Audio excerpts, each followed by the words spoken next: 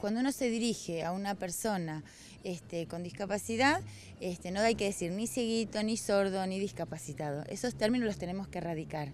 La idea es a la comunidad invitarlo a este cambio de lenguaje y llamarlos personas con discapacidad motora, auditiva. Este, esa es la manera correcta.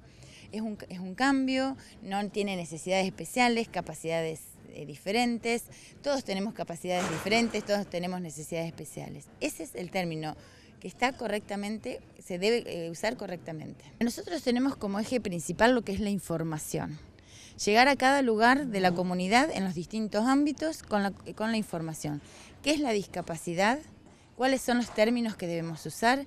y cómo debemos tratar a una persona con discapacidad, que es ahí donde está el gran problema.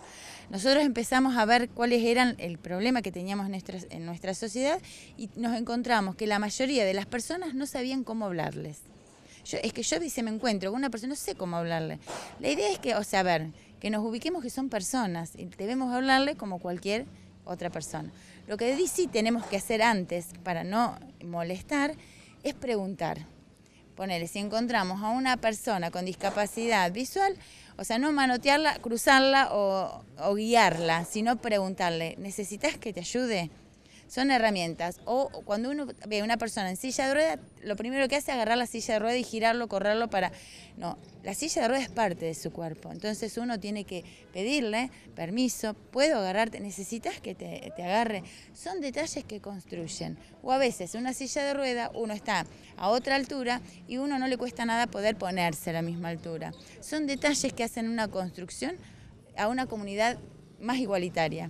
De esto se trata. La idea es que el papá esté contenido, que esté eh, acompañado en este trayecto de que es lo que el hijo ideal no va a llegar. Cuando los papás por lo general se preparan, el recibimiento es de otra manera. Aunque duele, pero bueno, uno ya está sabiendo a lo que tiene que afrontarse, qué es el síndrome de Down, cuáles van a ser los tratamientos a seguir o la rehabilitación que él va a necesitar. El tema es cuando no lo saben y el bebé llega, que uno soñó con ese bebé, se lo imaginó, imaginó la cara, imaginó todo un futuro, este, y, cree que todo eso no, va a poder pasar, y no es así. Lo que pasa es que eso es desde el desconocimiento. Pero bueno, la idea es poder acompañar y contener a esos papás y que bueno, que eh, más allá de lo que ellos se imaginan, la realidad es que ellos realmente pueden tener una vida plena este, que hay que tienen que vivir un duelo y que no solo se vive solo en los papás, sino que hay un montón de gente involucrada, que son los hermanos, los abuelos. Así que eh, no es algo tan fácil, pero no es, no es imposible. Nosotros acá tenemos eh, cuatro casos de personas con síndrome de Down, son personas adultas, que están trabajando, uno en una escribanía, otro en, un, en el Camino de los Vinos, eh, otro en otra oficina y otra persona en un laboratorio. Así que eh, creo que estas personas primero le dieron la posibilidad y creyeron en ellos, y sus padres creyeron también en ellos. Y creo que eso, ese es el factor que ellos necesitan, creer. Después el resto uno podrá ser más eficiente como cualquier ámbito de la vida o menos eficiente, pero creo que esto de poder creer y darles la oportunidad fue el primer paso y lo están haciendo eh, excelente.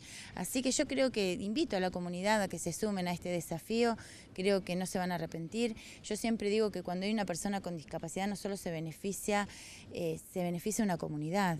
Así que que lo pensemos así, este, que uno a veces vive acelerado y con una persona con síndrome de Down o con discapacidad aprende a ser más tolerable, baja el ritmo, ve la vida de otra manera, este, realmente le ve el sentido a la vida, este, que a veces en el trajín de uno de, hacer y, concretar acciones, este, ni siquiera mira para el costado. Y ellos, o sea, a ver, son... Eh, tienen otra mirada de la vida y creo que uno se tiene que contagiar. Es más, yo siento a veces que son el equilibrio de la humanidad, así que creo que son una pieza fundamental para, para uno.